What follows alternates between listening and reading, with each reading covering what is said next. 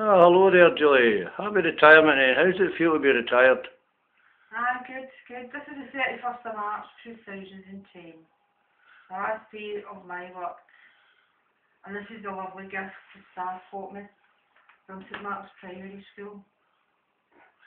And can you notice he's clutching onto the two bottles of champagne, by the way? Yes, yes. I'm going to drink the tune right now. ah, well, I wish you all the best and wonderful happy retirement with your wonderful husband who shall take care of you for the rest of your days, dear. Do you believe that? Of course you did, didn't you? You're only after my redundancy money, but...